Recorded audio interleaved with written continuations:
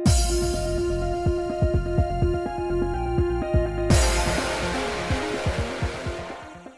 guys, it's Spacey Sims, and we are back with more Virche Evermore. Continuing, well, the common route still. So, anyway, we just technically met Mathis. I mean, we as the players saw him previously, but our character just met him. And now we've seen Cyan, but we haven't met him. When are we going to meet him? Come on. Anyway, as Mathis continued to collect whatever materials he intended on sharing with us, we were given permission to wander freely around the grand house. Jean even offered us use of the billiard room to pass the time, but. Okay, this is what I love though. A little electric car! Guess I'm thinking of like electric cars like we have now. Like, I plug my car into the wall, not like. You know what I mean? Like, I guess I'm like, wait, we have electric. Well, like, look, that's actually just a normal fucking car. Like, where is that plugged in? I don't see a plug.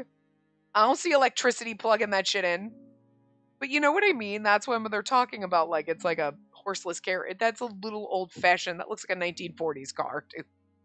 That's like the first car off the Ford factory lines, all right? Like, you know what I mean? Like, that's so funny. Uh, were they thinking about that when they say? But when you say like an electric car, oh goddamn no. Let's cross this update. No, fuck off. Remind me tomorrow. Don't fucking ever remind me again. I don't need you updating tablet. Actually, since you are connected to the internet, sure, but like not right now. It's always inconvenient because I'm always using my guides, and it's what's going to happen is I'm not going to record tomorrow because it's Saturday, so I don't record on Saturdays because I got to do my sim stuff, and it'll update itself by the time I open it up on Monday. Anyway.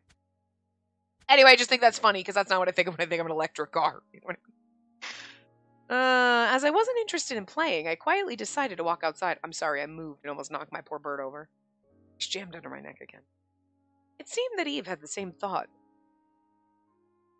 Yeah, yeah, don't worry about us. You guys continue the night patrol. But if you do encounter anyone suspicious, uh, don't approach them. And just make sure to inform me or Adolphe. We'll let you know if we find anything. I'll talk to you later. Are you on a cell phone? Do we have cell phones? He powered off a small device in his hand before placing it in his pocket. Okay.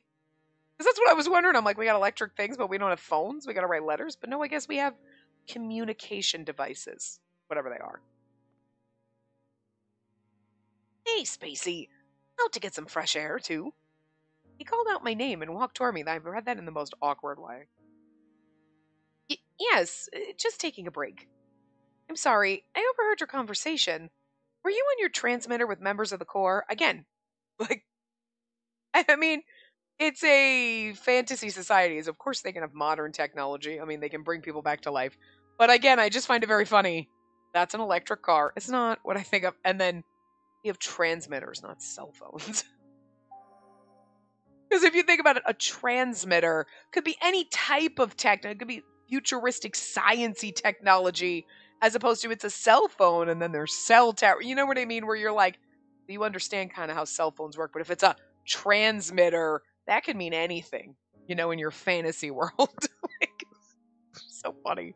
It's funny how certain words, like, are like like transmitter. It's just so generic. It could literally mean anything.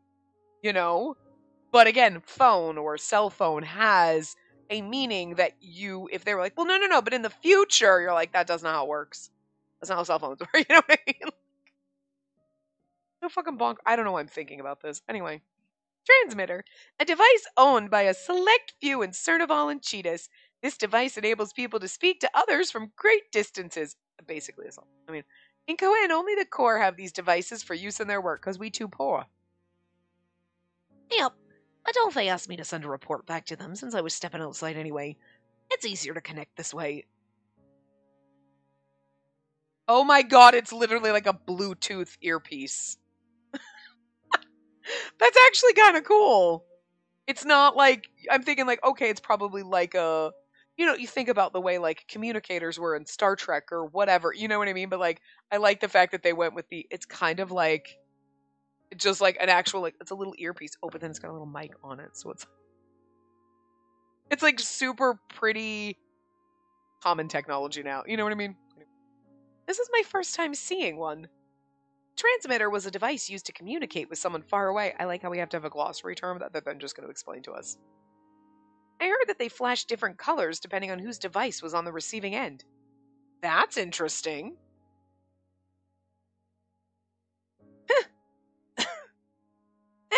it came out so bad. Hello, and these transmitters are only supplied to the Corps in Cohen. I had some trouble figuring out how to use it. I see. I recalled Adolphe saying he received one from the Institute, somewhat against his will. It could be that he wasn't too happy to get one back when. Could be that he wasn't too happy to get one back then because, like Eve, he didn't know how to use it. A cool breeze blew between us. When it passed, Eve began to speak again. I wanted to thank you again for your help earlier. I'm grateful that you spoke those kind words to the woman we met. If she had to deal with us men comforting her after what happened with the Royal Guard, it might have meant very little. See, and that's what I was talking about. Like, he's like pretty intuitive. Like, yeah, me saying that she's wonderful and beautiful isn't going to mean shit, but another woman saying it's different, you know? Oh, but I was just saying what I felt since you asked me. It looked like she was very conscious about her appearance. I could tell how much effort she put into the makeup she wore and the way she styled her hair. I can't help but respect her for living her life with a difficult job like that. I see.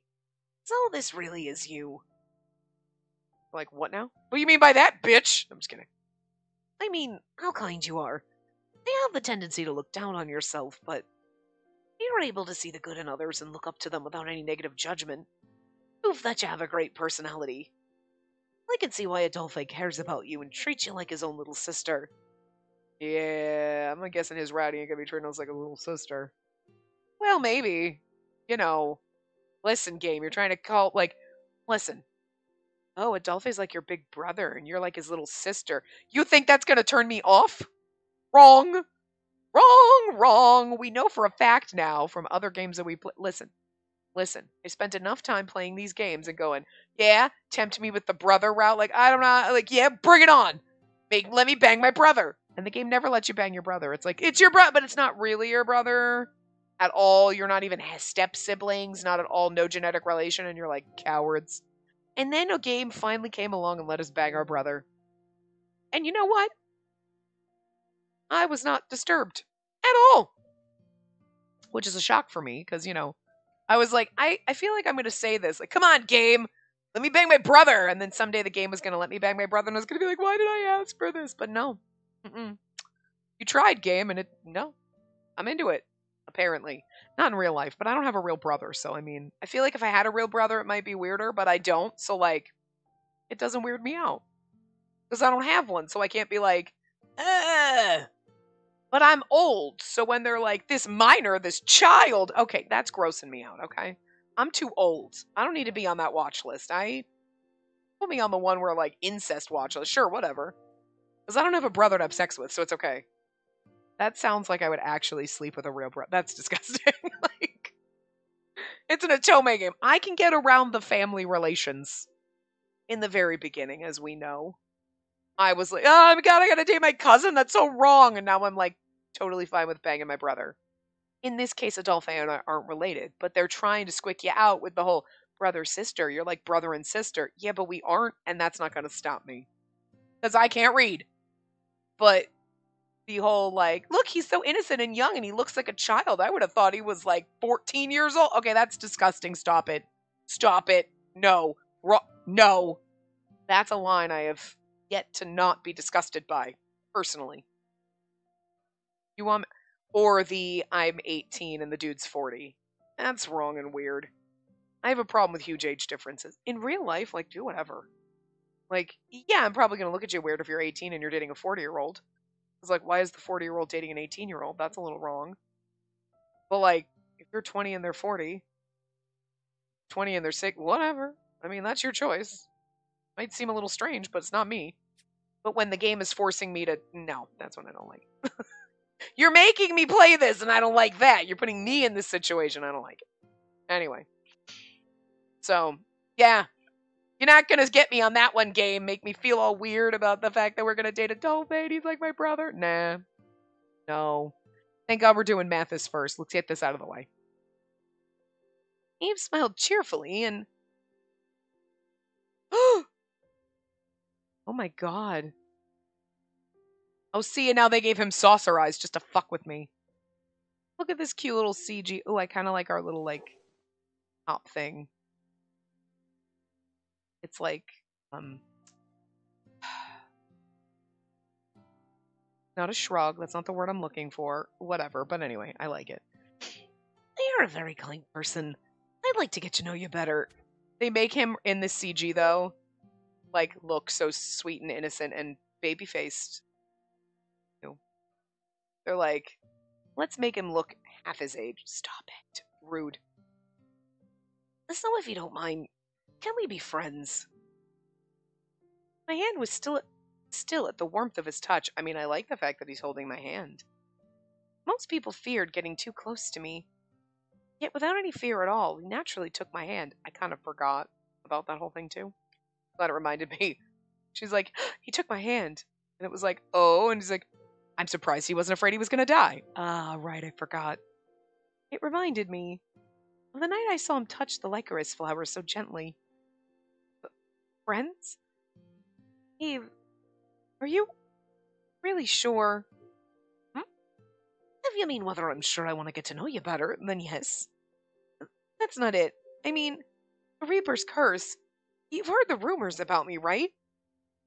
Even if he hadn't, he experienced my curse firsthand. I was thinking that. I'm like, did you forget?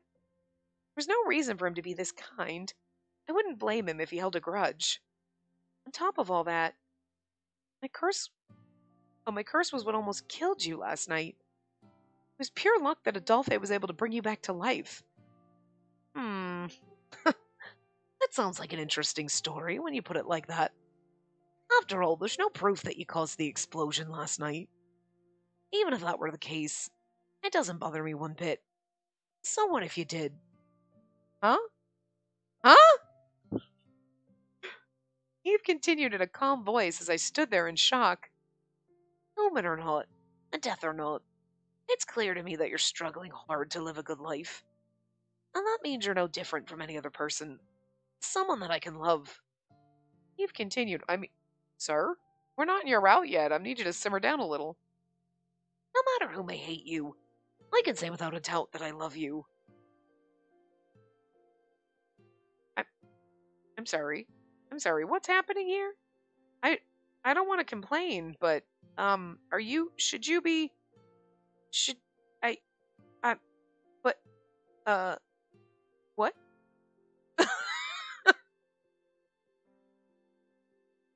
I, I was gonna, at the first part when he's like, someone I could love, I was like, you know, I would be like, excuse me, there, uh, exactly what I said. But in my, the back of my mind, I was like, maybe you just mean like someone that you, like, that you love like a friend. You love your friends, you love your family, the people that you care about. You know what I mean? that kind of love, not like in love with. And then you throw this out, and now I'm very confused. And what now? like it's just silence. Still, um, he say love? Yeah, right, girl. You, me, both. Same. Words that should have been spoken to someone special in his life were spoken to me in such a casual way.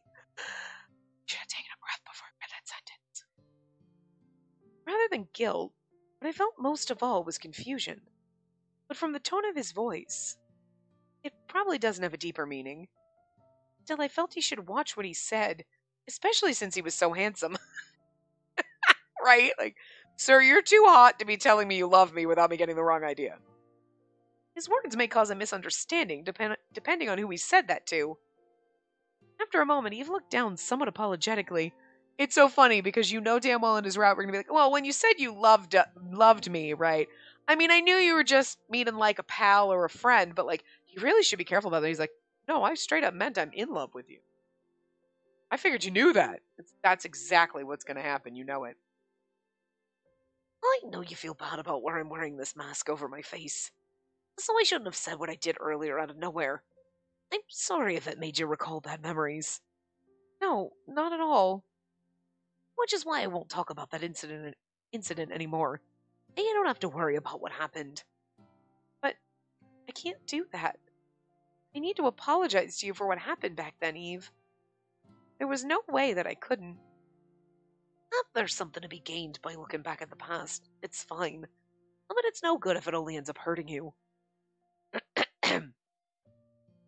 About we save it for another day? When we both have the courage to face it. Instead, I want to know more about the kind of girl you are now. I'll also do my best to show you what kind of person I am now, whether in word or deed. For that to happen, Spacey, will you please be my friend? It's like a friend proposal. It's a friend proposal. I love it. Eve's smile was pure and sincere, without any sense of ill will. In response to his honest request, um, I feel like yes would be more pushing you in his, although this is just the common route.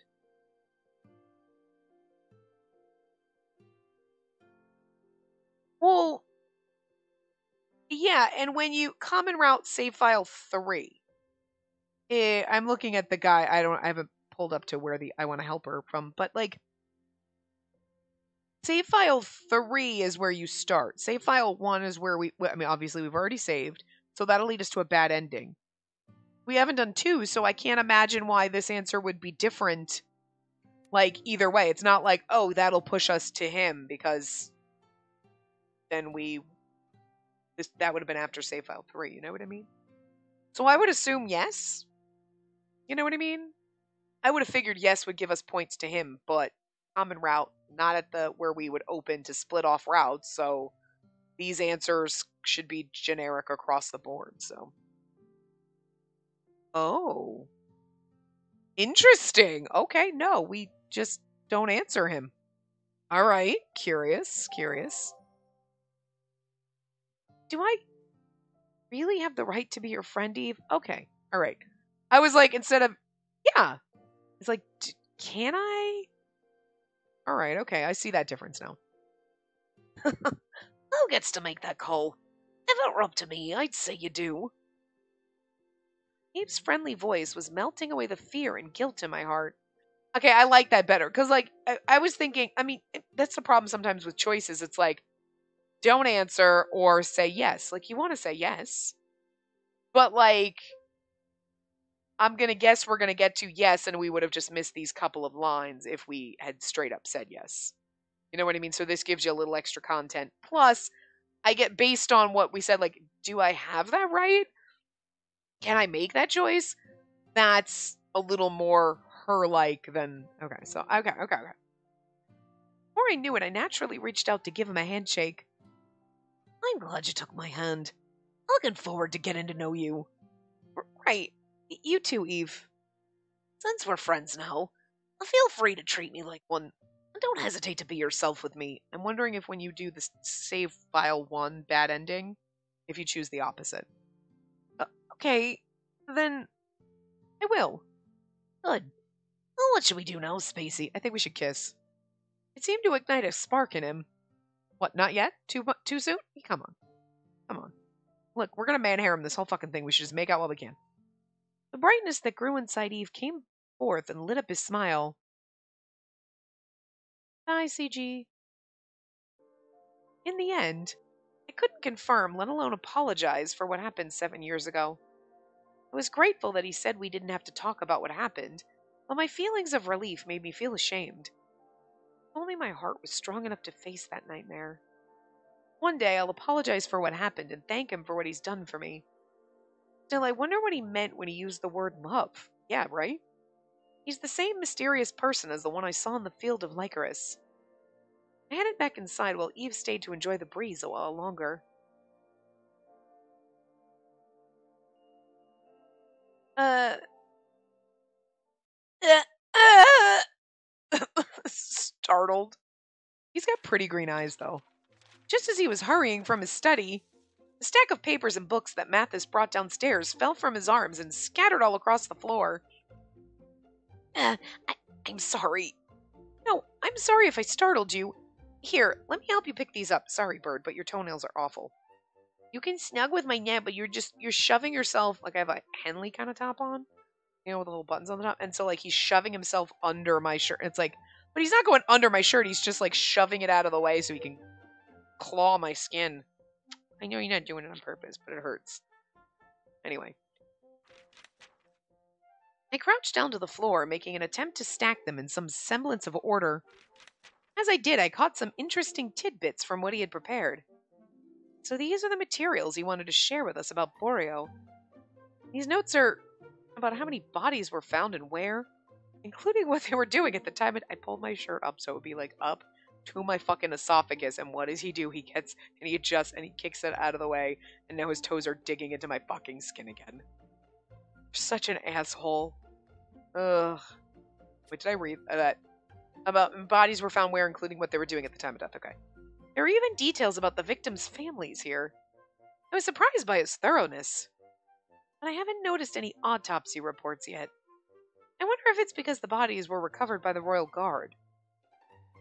Uh, um. Mathis glanced at me as, contin- as he continued picking up the papers from the floor. Did, did you find anything wrong with my notes? If so, uh, I'll fix them right away. Oh, no, actually, the opposite. I was just amazed at how you were able to gather so much information by yourself. I see you inching. Don't you bite my headset. The content's very organized. It's easy to read, even for a novice like me. Don't chew the headset. Not nice. If you chew the microphone, everybody's gonna hear a loud blunking. You're not gonna like. What? What a relief. And no one's ever read my writings except for Jean, so that's a relief. He finally smiled. Such a beautiful, cute smile, but I mean, I really do like this version of his sprite. Like, if he stayed like this, I can handle it. I can't, I can tell he's still scared of talking to other people. Because he looks sweet and innocent, but he's still beautiful, you know what I mean? Like, this balances it out, and I'm like, okay. It might be his natural temperament, but I wonder if something happened in his past. As I thought quietly to myself, oh, um, Spacey was it? Surprisingly, Mathis was actually trying to continue the conversation. I heard that we're about the same age. May I ask how old you are? Oh, um, I'm 18 years old. Human. Same age as Eve. Okay, that is bullshit because in the earlier said we were almost 20.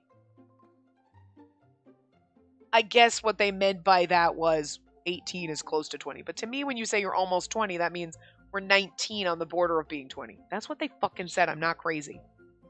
I guess in the contents of the the curse they meant and somebody might have mentioned this like in the comments, but again, none of this has gone up yet. Like the you're almost 20 when the curse is going to kick in. I'm 2 years from it.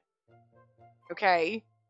But like that's I feel like it should have been you're going to be 20 in a couple years. Like you're close to being 20. You're only a year or, you're only 2 years from 20. Like I feel like they could have worded that in a better way than the way they did because that construes that you're almost 20 like almost 20 means like i'm over i've got less than six months to go before i'm 20 not i got over a year and a half or over a year you know what i mean? Like i'm not even 19 that's that's not almost 20 you know what i mean?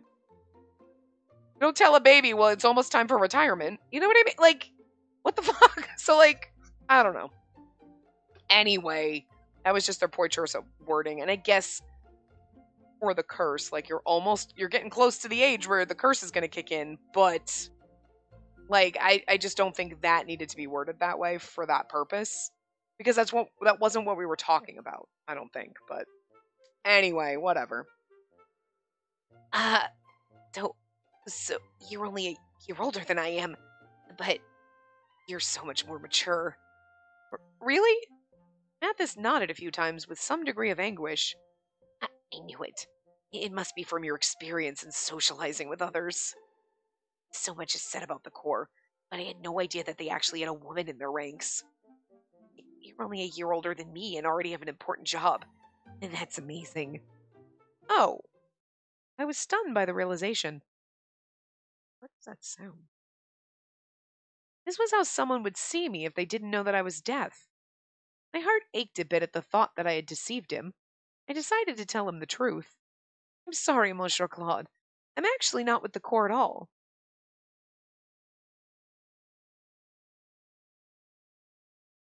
I gathered my courage and expressed that I was the person known as Death. Upon hearing my confession, Mathis's face suddenly turned pale. he certainly looked spooked. Once again, the materials in his arms fell to the floor as he scrambled against the wall. I shouldn't be surprised by his reaction. I knew this would happen, but it was still disheartening to see it after our conversation just a moment ago. Oh, um, uh, I- I'm sorry. I sort of overreacted. Mathis stared at me as he gathered the papers from the floor again. I must admit I was frightened to hear it, but if I may be frank, as long as we can track down Borio, it doesn't matter.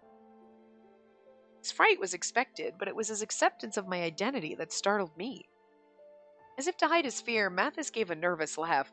To be fair, like, oh, he's afraid of me now. He's afraid of the wall. Okay? He's afraid of everything. So. I. I. I've never thought of myself as a sinner before now, but.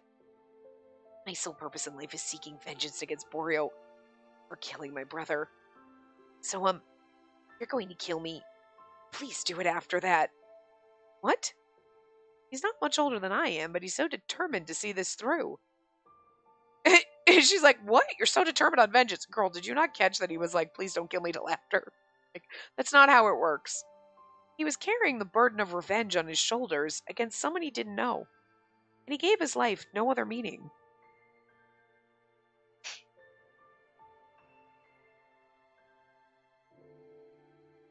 Instead, I want to know more about the kind of girl you are now. I remember what Eve said to me. It was literally two minutes ago. Uh, that's right. I was always looking down on myself. I've never let anyone besides Adolphe get close to me or learn more about me. I introduced myself to Mathis as Death, but I didn't say what that meant exactly. What's up, Death? My lazy approach toward my own existence led him to say such a sad thing. As I internally reprimanded myself, I steadied my breathing before speaking again. Monsieur Claude, I I don't have any special ability to kill people like you want me like what you might be imagining. Huh? Well, what I'm trying to say is I have no intention of causing people's deaths, so please don't worry. Hear how strange my explanation sounded as I was saying it. And this was the best that I could manage for now. If if I still scare you in some way, please let me know and I'll leave right away. Uh, maybe it's for the best if I head back to the orphanage. I forced out the best smile I could and quickly turned to leave when. W- w- wait! Ow! I felt a sharp pain on my arm where he grabbed it suddenly. It's getting dark, so you shouldn't walk alone outside. Outside alone. Sorry. And never go outside by yourself. I felt the pressure run down my arm as Mathis shouted. You can hear him squeezing. It hurts. Understood. I'll stay here until the others are ready. So if you could, please let go of my arm a little. Uh, I- I'm sorry. I, I just panicked. I-, I shouldn't have touched a girl without permission. I-, I apologize for my rudeness. It's fine. I guess I was surprised too. I gently rubbed my arm once he let, let it go. Despite his frail appearance, Mathis seemed to possess a great deal of physical strength. Probably doesn't even realize it. Now that I'm looking more closely, there's a knife strapped to his thigh. Is there? I'll see it. Maybe he's training to avenge his brother. As I thought about it, Mathis looked like he was regretting what he said earlier. I, I won't be forcing you out of my house. Eh, Not now. Eh, Not ever. I promise. Never do anything to isolate a person, no matter who it is. That was what my brother told me when I was little, and I don't like being lonely either. He looked down apologetically. Didn't do anything wrong. Sorry for the strange way I reacted earlier. I- I'll never do that again. So please, can we go after Borio together? He's like, actually having death on my side might be helpful. As Mathis looked up to, looked up at me anxiously, I could tell from his eyes that his request was sincere. Yes, as long as you're okay with me. Are you blushing? You blushing, Cupcake? Uh, she is. I breathed a sigh. What's going on? I can't believe I'm getting to know so many kind and caring people all at once. I know! Seems like the game's ready to set up a bamboozle. Like, you got to know everyone, now they're all dead. Happiness I was experiencing was more than death could ask for. That's the game being like, wait. Rude. That is literally what I was saying. That game, the game is literally like you feel that false sense of security. You're making all these friends, getting to know people. You're feeling happy, right? Yeah, no, you go fuck yourself. It's so gonna slap us in the face. After everyone reviewed the records that Mathis had painstakingly put together, we came to the conclusion that Borio had a pattern of targeting the rich.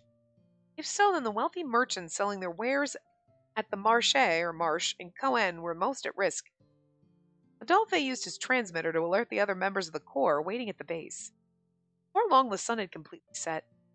Oh, um, if you don't mind, I'd like to invite everyone to stay the night. We decided to accept his generous offer and remain here for the night. Hope somebody called Sister Salome and let her know. Ooh, who's other this time?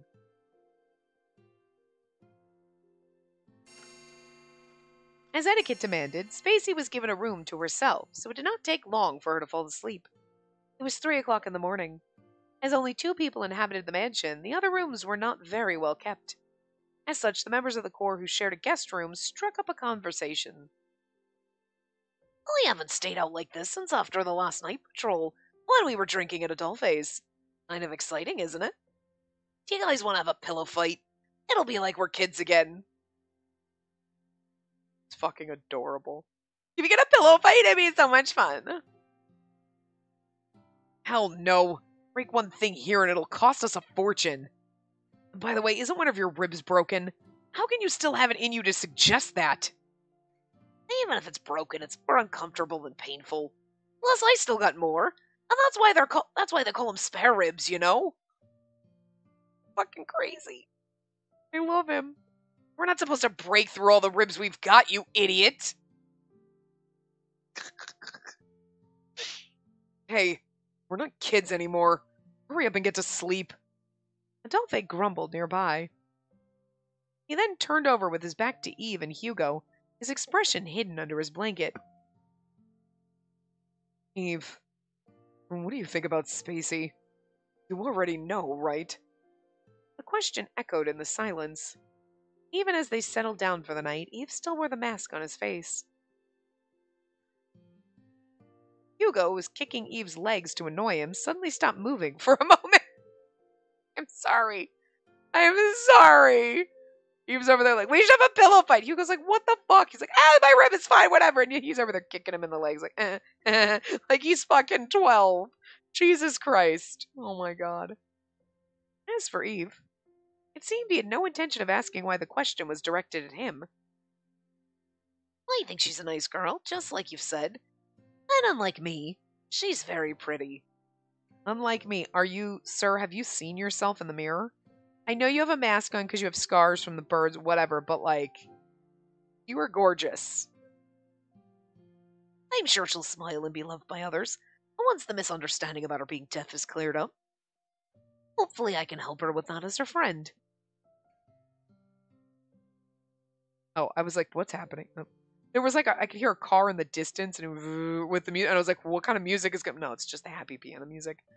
Eve gave a carefree response, despite the cautious silence between the other two. I see. That is very like you. You say and think the most incomprehensible things sometimes, but your compassion's as reassuring as always. I'm thinking, okay, so Eve looks like he'd be soft and delicate, but he's sound, but like he also sounds like he might be a little crazy. Clearly. I'm soft and gentle and compassionate, but I'm a little nuts. So maybe the Irish accent works for him. Well, whatever this accent is. In response to Adolphe's statement, so that's why. Hugo mumbled quietly before moving his blanket and sitting up. Hugo, what is it? Can't sleep. I'm gonna get some fresh air. You just take it easy. Ooh. Hugo walked out into the night air feeling something indescribable. Eve was asked about his past with Spacey in that roundabout way. His quick response echoed in Hugo's head. He felt no grudge against her. Knowing him, he probably didn't concern himself with what happened. Damn it, this is so frustrating. Oh, Hugo, are you having second thoughts about us? No matter how much he thought about it. Such an idiot. Not like I'm his mother or anything. No, but like, you're like his bestie, I guess. Maybe his secret side piece boyfriend. Listen, listen, I'm okay with it. If he's fine with what happened, then I have no right to say otherwise. Hugo spoke aloud to himself, then turned around to head back inside when. Uh, hmm? He encountered Mathis, who seemed to be outside for the same reason. He wasn't dressed for bed because he wasn't planning on sleeping anytime soon. Hugo's not dressed for bed either, but then again, they didn't we didn't bring pajamas, so. What are you doing out here? It should be bedtime for a kid like you. He's 17, Jesus. I'm not a kid. There's only a year's difference between me and Eve. Oh, that's so. Tell me again once you've gone out into the real world to make a living. Hugo, this kid doesn't have to do jack shit. He's rich as fuck. Hugo rubbed Mathis's head, messing up his hair, at which point Mathis gave a dissatisfied frown. Sorry. Hugo, that's such a douche move, but it's so funny. I love it. I'm sorry. Oh, God. Seeing his expression, Hugo's perception of the stammering young man from this afternoon changed slightly. All get dark. Never took you for the short tempered type. You get that from your brother. John often tells me that I look like him. Oh? From my view, you actually remind me of my younger sisters. My family became relivers, so they lost their cuteness, but I vaguely recall that they acted just like you. So, so you're a reliver too? Yeah, and you? Not me. I'm still human. 17 years old. Same as Jean.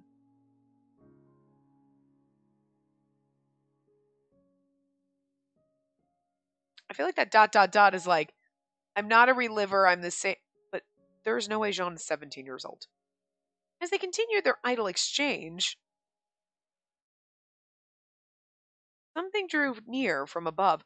I feel like he's trying to say, I'm not, I haven't, I'm not a reliver, I'm still human, whatever. But there's no way Jean is 17. Okay? There's just no way. Ooh, what's something from above is question marking. Suddenly, silent blade flashed before their eyes. It swung downward.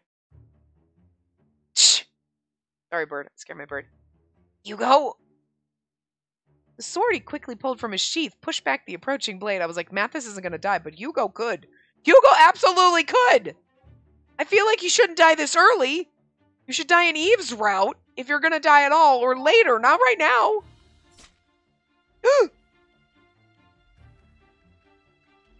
He managed to deflect the full attack, sustaining only a gash that sent droplets of blood over the Claude family's garden. Uh, Mathis's eyes fell upon the person whose shadow darkened the blood on the grass. You. Borio? Y- you're. You're the. Along with memories of despair, the hatred hidden deep in his heart returned. The timid young man's personality slowly shifted into a different color. You're the one who killed my brother! That sounded a little more intense than I wanted to do shit. Mathis brandished the knife that he kept close for this very moment. At that, Hugo clicked his tongue as he too knew who the assailant was. Hey, hey, you've got to be kidding! We just hit the jackpot! What of all times? Not the killer had their sights set on Cohen. I'm wondering who this really is. Like, are we gonna. Is this a character? Like, okay, because they obviously have a sprite. You know what I'm saying? Right? If they're showing this. So. It's pro. I would guess. Unless it's Cyan, because he's not here. Because Hugo walked outside.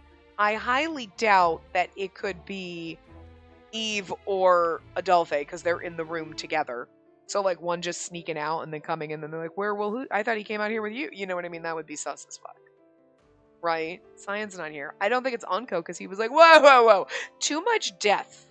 I need to take a break. If people could stop, that'd be great. You know what I mean? So like, he's not the one doing it. We know that.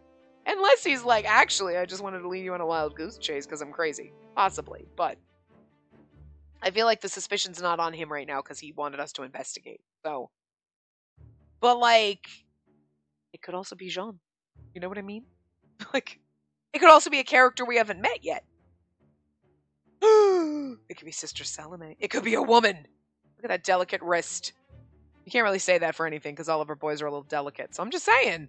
I would guess if it's not a complete other character, if it's a character that you're going to meet and interact with, it's going to be one of the ones with a sprite.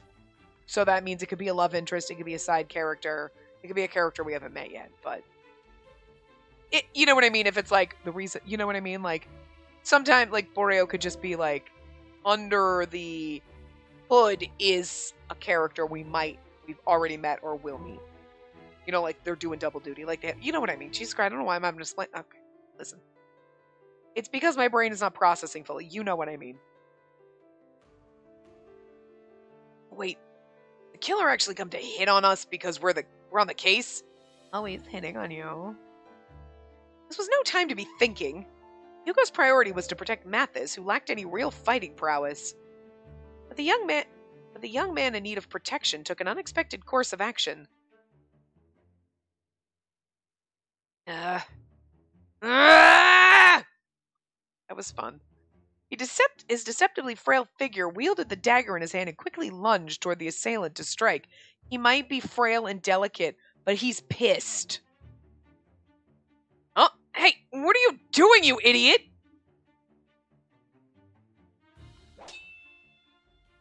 Don't think Borio's ever going to speak because then you'd know the voice. Borio easily parried Mathis's foolhardy attempt to quickly and quickly followed with a sharp kick. Mathis! Hugo suddenly went pale. He knew he wouldn't make it in time. The young man was going to die with one more strike from Borio. But the attack didn't happen. Instead, the killer quickly turned his weapon toward another target. Huh? Hugo's relief that Mathis was no longer the target opened him up for attack. Okay, what character stands like this?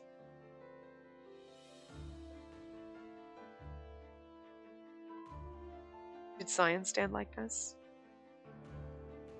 I'm just saying that's a very quintessential pose, so keep that in mind. We haven't seen Cyan in a while, so I don't really remember, but now I'm like somebody somebody's gonna be standing like this with the little hand in the thing. So remember this little like pose. It's a very feminine pose, which is why I wouldn't put past Cyan to have that. But I'm just saying, remember this pose. He's already caught up to me? This monster. Monster was hardly an exaggeration. Hugo somehow blocked one blow after another, but strikes came so furiously that he couldn't determine exactly what type of weapon was being used against him. Out of the corner of his eye, Hugo noticed Mathis doing his best to stand up again. Stop! Why are you going after him? I'm the one you need to face. Mathis tried to capture his attention, but I keep saying his, but like, you don't know as if nothing had happened. Borio disregarded his challenger. Huh? Mathis' surprise was only natural. Borio, the cruel murderer who terrorized the wealthy, when faced with a direct taunt, turned his attention away from Mathis, the master of the estate. Instead, the killer's target had somehow become Hugo, who was fighting for his life. Maybe he likes a challenge and Mathis didn't give him a challenge. And think about like all the people in the alley. There were multiple people. That's a challenge. One man or woman, we don't know, but like one person against like four or five or six. You know what I mean? At least he's not interested in Mathis. Yeah, but I'm really concerned for Hugo right now. The sounds outside were unmistakable.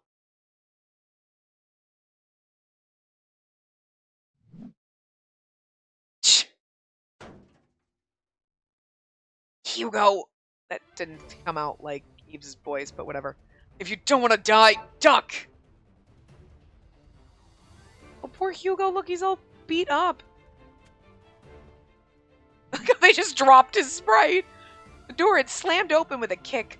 A large vase came hurtling out from inside the house. it's amazing. It flew at a speed fast enough to kill if it struck the assailant's head, but it shattered it shattered at once with a swing of his blade. Even Adolphe ran out and swiftly took their place on each side of the injured Hugo.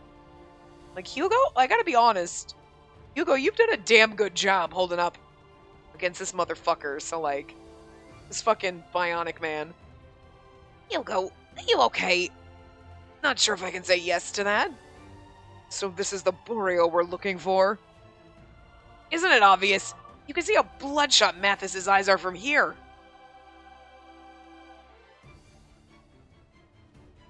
Mathis glared, huffing and panting as he dragged himself to his knife intended for Borio. Adolphe swiftly took action. We can't let him move around like that. Spacey! Jean! R- right! Okay, so it's not anybody that's here at the time, is all I'm saying, because now we can see Jean in the same place as the killer. This is intense, guys. Spacey, uh, please take care of the master. Spacey and Jean moved quickly. Jean offered cover while supporting the injured Hugo with his shoulder. Spacey did her best to hold Mathis back so that he wouldn't move any closer. What are you doing? Let let me go. My brother's killer is, is right in front of me. I know, but I'm sorry. Now's not the time. The executioner glanced over at the two and quickly vanished. His shadow followed at the speed of dark until both had gone from the garden. You're not getting away. Let's go, Eve. Right, Spacey, please take care of Hugo and Mathis. Okay. The two dashed off in pursuit of Borio. Don't die. She prayed for their safe return and tried to somehow convince Mathis to go back inside, but Uh, that was also very intense music, so I hope it wasn't too loud because it was very like I have my volume on my computer turned down and my headset completely turned down, and I was like, "That's intense." So, to be fair, I haven't checked any. I've spot checked a couple. I'm like, it seems okay, but like, there's times like this where it's very intense and I need to go back and see, and like, but I think for the most part it's okay. I haven't fully checked any of them, so like, if it's really bad, just bear with me. It's gonna be like hard for a while because like none of these have gone up. You know what I mean? So. Uh, Mathis forced himself to his feet, making Spacey fall to the ground. This isn't over yet. He snatched the knife from the ground and ran from the garden after Eve. Master! Please wait, Mathis! He's like a runaway car!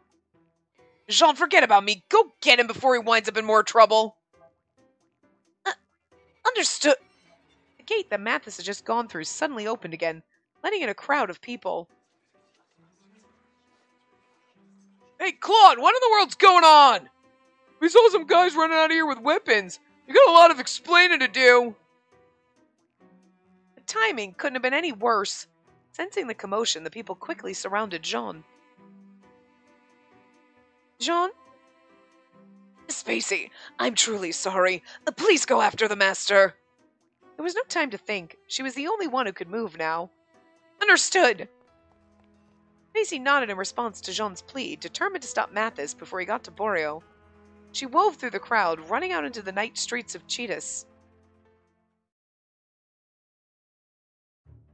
This is intense, yo.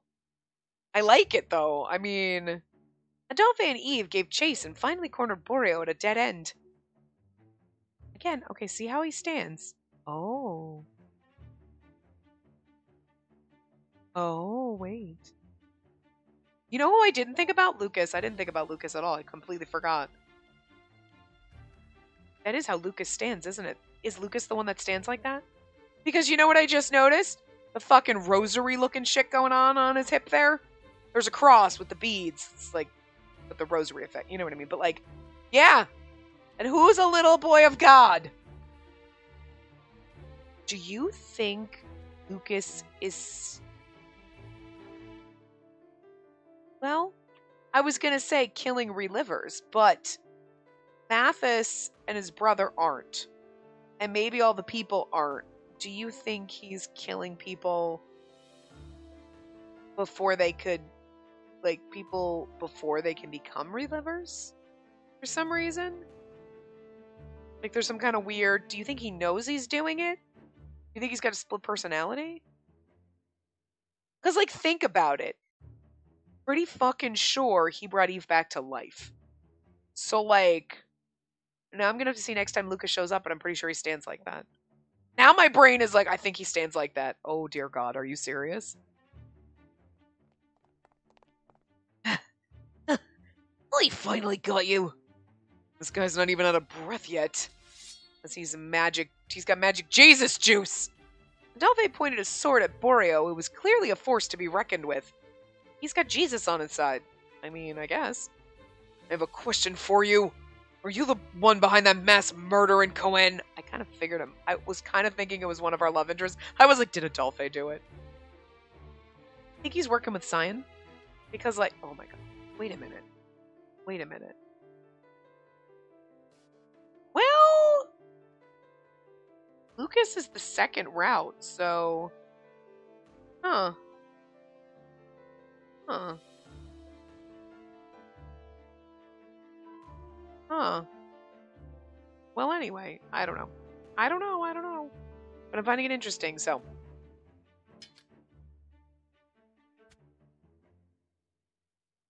I mean, and obviously, this is not a pose that anyone would have because. Hearing weird. I can't. I don't think it's from the game. It's bizarre. No one would. We wouldn't have this pose on whatever sprite. But I'm just saying. That cross on you makes you sus. He quietly lifted up his weapon. I'm just gonna be. Uh, listen, I'm just gonna say. If it's like I, I feel like it's to be a character that we're to meet, whether it's a love interest or not. But I really do think that standing pose with it, that seemed so fucking familiar to me that I'm like, that seems so. And maybe there's, I feel like they sh- what they should have done, if that's like a giveaway, they should have had a couple characters that have that kind of pose so that you'd be like, wait, wait, wait, and you wouldn't know.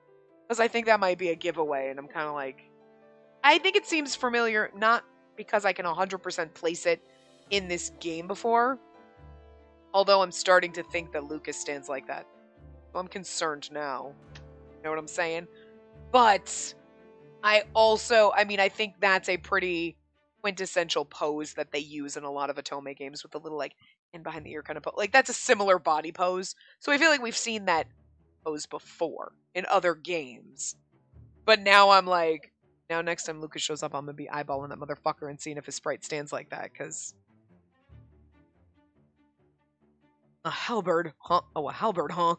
What a cumbersome thing to use. Halberd, a long pull- pulled weapon that looks like a spear with an axe blade at the top. If that's the same weapon that killed the civilians in the Royal Guard, then. We've got an uphill battle ahead. One wrong move and we're dead. Keep your guard up, Eve. Ugh, I really don't like res- I really don't like resorting to violence.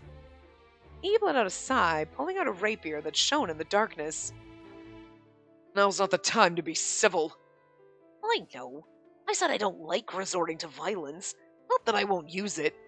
I love that. I don't like it. I didn't say I won't do it. If it were up to me, I'd rather ask him why he's doing this, but it doesn't seem like he'd be willing to listen. I can understand that much.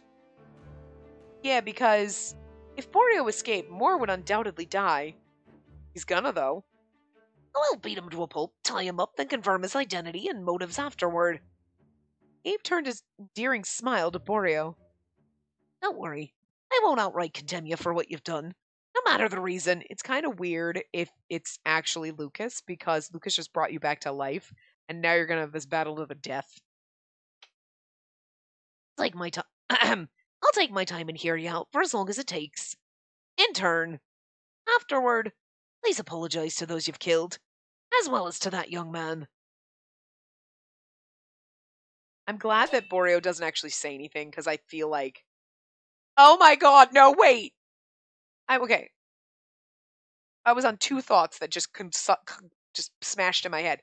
Uh, one, I'm glad Borio doesn't say anything because the voice would give it away, and that was what train wrecked me into. Yeah, yeah. Who's Lucas? Who's Lucas's voice? Daisuke Hirakawa. Who is Saint Germain in Code Realize? I'm just saying. They like to give him the sh- he he's got like he's typecast as shady character. All I'm saying. All I'm saying is there are certain times where you're getting a Otome characters and you're like, I already know your character trope because your voice. I'm just. All right, now I'm really sus. I'm really sus right now of you being Lucas because you got Saint Germain is a stabby motherfucker. So like, I can't really say it's because you're Laito and Diabolik Lovers because everybody in Diabolik Lovers is a psychopath. So like, let's be real. Just because you voiced a character in Diabolik Lovers means nothing. But you know what I mean? You know what I mean? There's certain Otome like voice actors that have a trope. They're typecast. Nobuhiko Okamoto is usually like, well, you are the you're sus as fuck. Usually because it might not be a bad thing, but it's because he can do cute, adorable voice and then the super sexy voice. So you play evil characters, but you also play those characters who have secret identities. You know what I mean? Where you're like, look, it's all it's all cutesy, and then I'm all sexy. Or bad characters. So like now I'm kind of like sus you too. Like, and if we're playing like obviously we played Radiant Tale and he was in that, but it's because you had a secret identity. It wasn't a secret. Okay, it's not a secret. It's not like I'm spoiling my game. It's like you're playing the cute little fluff ball who we're not supposed to know is a cute is a hot dude, but obviously we know is a hot dude because the whole point of the game. You knew it from the very beginning, but it's like that's why you had a secret identity from the main character for a while. Like, I mean, just, come on, come on. That's why you did it, but still doesn't make you not sus when you're in other games, depending on the game. Radiant Tale, no one was sus because everything was fluffy, right? This game, everyone should be sus. So when you put a ca- voice actor that usually plays kind of sussy characters, well, there you go. Now I'm more. Mm, I that's a like it really should. it's really sad when you get to the point where you're like, it's the pose of the sprite that concern me, but it's also your voice actor that then is like, but that's also why I'm glad he doesn't say anything. Because if he said something, unless you're one of the voice actors that can do drastically different voices where no one would know, it's going to be obvious who you are. And sometimes we get used to, oh, I know their cutesy voice, I know their sexy voice. You know what I mean? So you can't really, you would know, and that would ruin it. So I'm glad Borio doesn't say anything, or hasn't yet, you know? Honestly, for us, it's more fun because we don't get to hear the voice, so we would never know. But for people who are playing with voice acting on, I'm happy he doesn't say anything. Anyway, his kind words merely served as a signal that the battle was about to begin. Oh! Oh, we getting drama CG, guys. Drama CG. All right. And the music is so motherfucking intense and loud. Did my computer just turn up or did the volume? Okay, my computer went up, that's why. My computer went up to 50 and I was like, Jesus, I think it's as loud as it was before, but. The dry clanging of metal echoed through the quiet alleys. Woo! The long sword slashed, the rapier thrusted. Yet Borio blocked and parried each blow, responding to them with a swipe of his halberd. I'm sorry, Bird. Each weapon struck at a different range. Even Adolphe could tip the fight in their favor, if only they could get within range. I don't see. Oh no, there's okay. Borio's kind of behind, in between them, but in the background it's just a hood, so you could barely tell. I mean, I guess it's also a swoop of his cloak. That was their plan, but they were unable to close the distance, thereby losing any possible advantage. We might go a little over because we're in this scene and it's intense, so we're gonna go. We're not gonna cut you off. Oh, sorry I said what I said earlier. This might be a little too much to handle. I was just about to say the same. Their light exchange helped to reduce the tension they felt from their struggle. Battle was two against one, yet it was even Adolphe who sustained repeated attacks on their shoulders and arms. This guy's just insane. There's no way a human can move like that. He's got Jesus juice, I'm saying. Halberds were as heavy as they looked, and not considered swift weapons. In the hands of normal people, at least.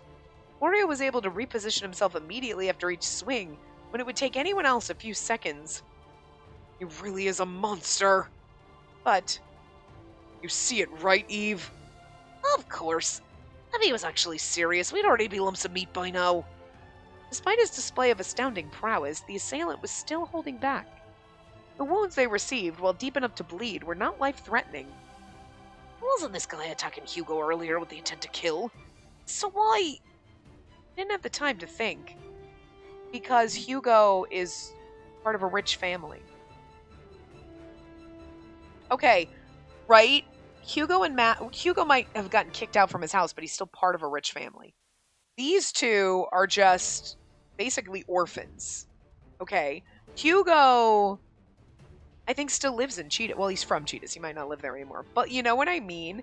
And all the people that died in the alley could have been merchants or people from Cheetahs or whatever. That's, I think, the point where we're getting at. Like, yeah, they were murdered in Coen, but it has nothing to do with that. It's rich people. You know what I mean? And nobody's talking about it. So you wonder if it's something. You're funding this research, which is against God! Because it's Lucas and he's like a little god. So I'm just saying he could be psycho like that. So like it's not I'm just killing random people. Like if it were Cyan doing it, I'd be like, you're killing them because you want body parts for science for some reason. Don't know why. You have tons of science, but whatever.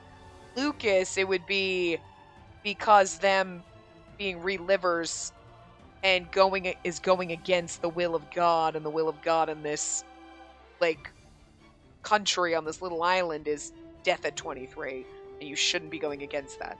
Especially if you believe, which he might in reincarnation, like you die and your soul's reborn, you're defying that, like, will of the universe or God or whatever by being reborn in your body, then your soul can't be free to be born into something else, and you're fucking up nature if that's what you believe. You know what I mean?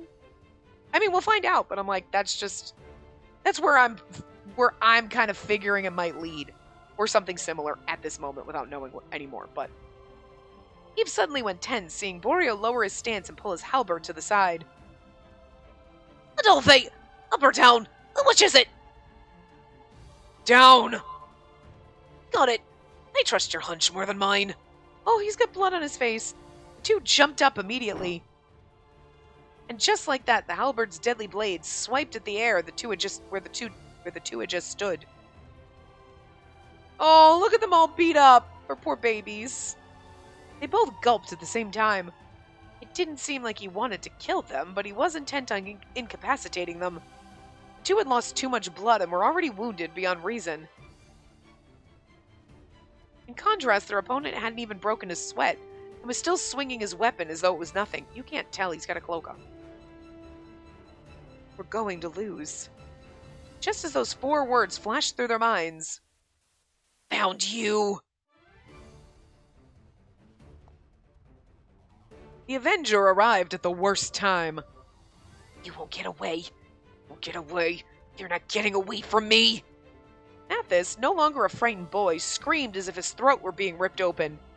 That's how my voice feels to begin with, and then like making him scream, I'm like, that's gonna work. It won't let you get away this time. You know what you did to my brother. You killed him. Wait, Mathis! You're gonna feel all the pain you've inflicted.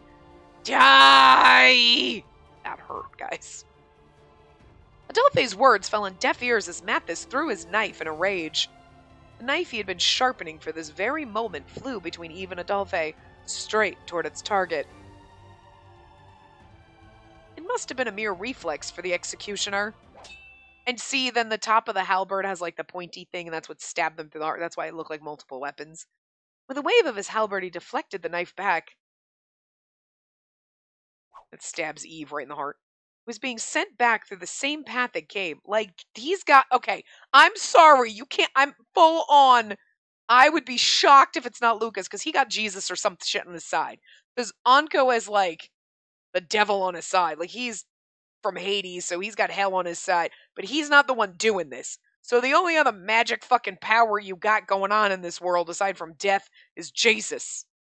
So like, I'm just saying, this is not skill. This is Jesus juice over here. Like, huh?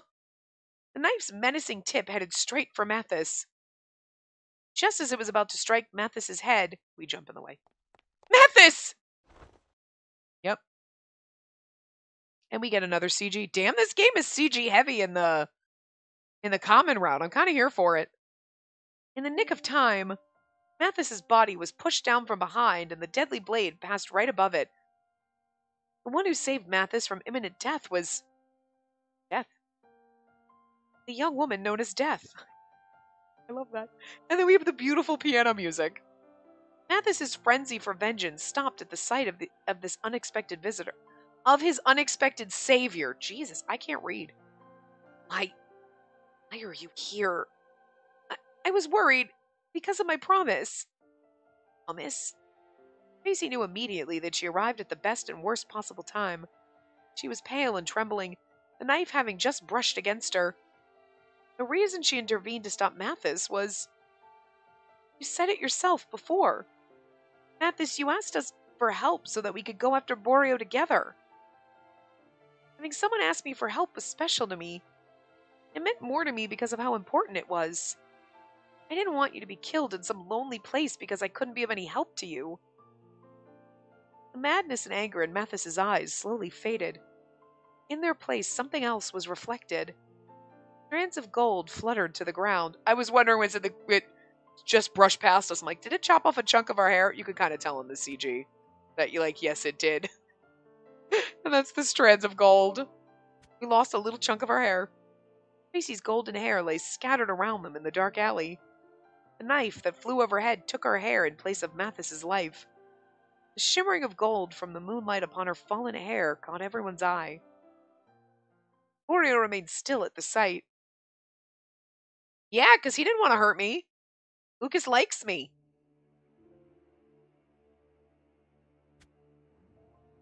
I'm also curious about this, but like obviously the one where he's holding the halberd is not gonna be present in any other sprite char- character sprite because you don't have a weapon in your hand, you know, until Borio's revealed as whoever, you know what I mean?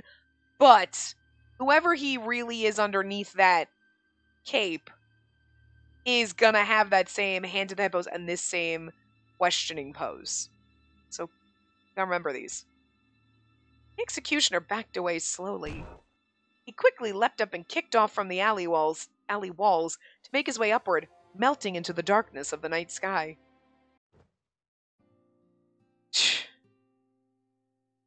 Silence fell upon the alley. Because you see what I'm saying? Like, Eve kind of has that little hand behind your head pose, but it's different.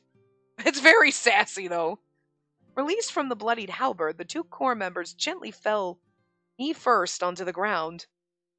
You ran away like a monster, too, climbing up walls like that's like that is something I've only read in books. We weren't able to nick him, let alone land a blow. I never knew someone so strong existed in this country. Adolphe, Eve, you're bleeding! And don't worry, it's not as bad as it looks. We can patch ourselves up. So can you take care of Mathis instead? Okay. Good place. We'll end it here because we're probably transitioning back to us. But like, damn.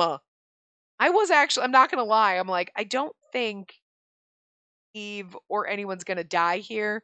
You know what I mean? So this fight and the whatever. Like, I knew one, but like, I was a little, I'm not going to lie, slightly concerned for Hugo. Cause I'm like, I don't think they'd kill him this early. Like, I feel like he's, there's a chance he's going to die. He's a side character. So he's free game. But like, there was definitely tension. You're like, oh, oh my god! Like I know no one's gonna die. Hugo might, Hugo might, and I'm a little concerned. But especially if Borio seems to be like they said, going after rich people. I feel like it has to do with people who are relivers. Maybe he's trying to kill people who were never relivers before to prevent them from becoming relivers because maybe if it's Lucas, right? Well, okay, let's just be real. Even if it's not, if it's someone else, the cross and the bead chain, the rosary looking chain the, with the cross or whatever, kind of indicates you got there's some religious aspect here, okay? And we already have kind of introduced that into the game with Lucas being like good, like God fearing boy. And then you've got Anko who's like, no, I live in Hades and I'm the Watcher of Death, and like that's you. So he's like the devil over here, and Lucas is like our little angel boy, okay? Right. So we kind of already had that going on in the beginning. Like that's that's not far. That's not breaching. That's that was there. So you like relivers yeah, even if you okay, you go, you get your body backed up, you get your brain downloaded. You can only use that brain download once. So I go, I die, they bring me to the factory to reset me, the research institute, whatever factory, you know what I meant. Like, and then that my brain download gets put in my new body. If I were to die by getting stabbed two seconds after I walked out the door, I can't come back. My brain's already in my body. Like, that's it. Like they said, one time use. But it doesn't seem, and we'll have to see, but I'm guessing that the people that Borio's killing were never, because like Mathis said, my brother wasn't a reliver. He didn't have a body or a backup. Mathis doesn't. Hugo doesn't. And I'm wondering if Borio is killing people who aren't because of that whole religious aspect. Like there's a thing about, like, the thought process could be relivers are like a blight against God, kind of like, yeah, eh, but Lucas is meanwhile teaching them about it. But he's teaching them. He's a teacher. I'm teaching you the facts. I'm just saying that's up to you to decide. But if you decide to become a reliver, I'm going to fucking stab you through the heart. You know what I mean? Like, he doesn't have to add that as factual. You know what I mean? But, like, him just teaching it, I, I mean, I would like, if it was him, it would make it'd be kind of interesting because like you meet him and he's like i'm just teaching you the facts about the process and everything that goes on blah blah blah. He's not putting his religious thoughts into it. He's not putting his thought process of like it's up for everyone to decide for themselves. He's not like you're a horrible sinner if you do though. You know what i mean? But he could have that thought process like the nature of our country is you die at 23 that's obviously the will of whatever god you believe in that rules this country or like you know whatever looks down upon us so you being a reliver is going in the face of that nature of God. So I'm going to stab you before you get to do that. And you wouldn't be killing relivers because they're already abominations. You'd only be killing the people who have never backed up or de- gone through the reliving process. You know what I mean? Or even backed themselves up, like Mathis's brother. Mathis's brother could have backed himself up. He's never relived yet but killing him would mean nothing because oh they'd be like oh we can clone him it's cool you know so you're trying to kill people who have never backed themselves up yet to like you know and like why i mean obviously this has happened before but we didn't know about it but maybe like now he's turning to poorer districts because more people in Cohen are able to afford to do this where maybe they weren't before. So he's, you know what I mean? I don't know. That's my theory right now. So we'll see what happens. But interesting. I kind of like it because we got Anko as like the Watcher of Death. He's over there coming up from hell, being like, "Hey, girlfriend, let's be pals. Let's make a deal." And that's shady as shit. Cyan's over here playing God, which is kind of cool. And then if Lucas is like, everyone should die that's thinking of doing this because it goes, then he's crazy. And it's like, sweet.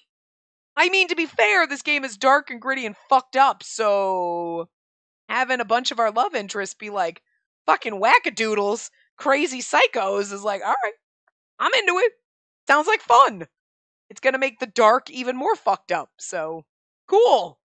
Anyway, I will see you guys next time. Remember to give the video a big thumbs up and subscribe to see more.